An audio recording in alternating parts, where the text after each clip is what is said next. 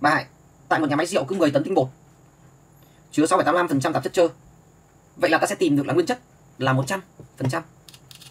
Trừ đi 6,85 8 5 bằng 93,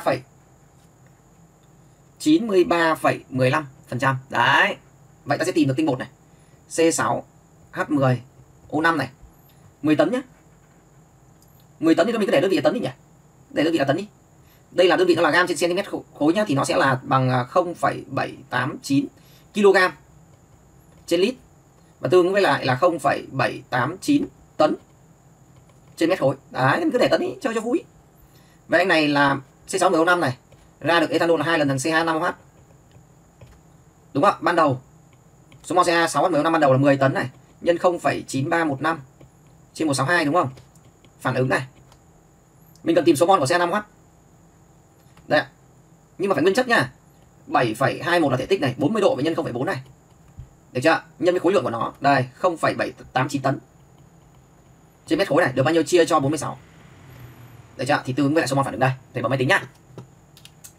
Ta có 7,21 nhân 0,4 nhân 0,789 chia 46 bằng 0,049. Đấy, 0,049. Thì coi như là đây là cứ ghi nó 0,049 đi, cho chuẩn đi.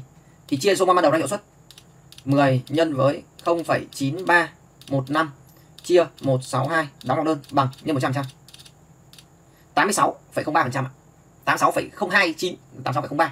Được chưa? Vậy đáp án chính xác của chúng ta ở đây nó phải là đáp án D nhá. Này nhá. Công thức này thầy chưa chia hai này. Đúng không? 7,21 này. Đây chia 162 này. Đúng không ạ? Đấy chỗ này thầy chưa chia hai này. 7 bấm lại nhá 7,21 nhân 0,4 nhân 0,789 chia 46 nhân 1 chia 2 ra số mol này 0,247 0,247 và mình tìm được hiệu suất 0,247 chia cho mở ngoặc đơn 10 nhân với 0,9315 chia 162 bằng nhân 100 trăm 43,14 43,14% 43,101 đúng không ạ? Đáp án chính xác của chúng ta là đáp án B ạ. Ok ạ.